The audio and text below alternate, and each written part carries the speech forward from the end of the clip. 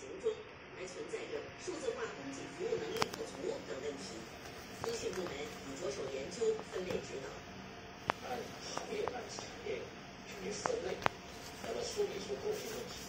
然后去对接正相关的资源服务商以及专业的大研发所，来帮助我们一些攻关一些关键的技术，以及研发通用的技术方案。线线搭桥，为企业寻找解决方案的同时，江苏还组织企企业发挥创新主体作用，特别是推动龙头企业成为服务提供商，帮助更多中小企业探索数字化转型方案。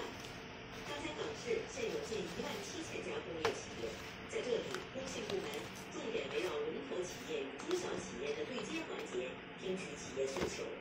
针对调研过程中发现的供需对接不够精准的问题，我们将进一步提高龙头企业的示范带动和服务质量，分行业召开供需对接会，打造深入到基站的质感运转服务队伍，将过去的企业保护，更好服务找企业。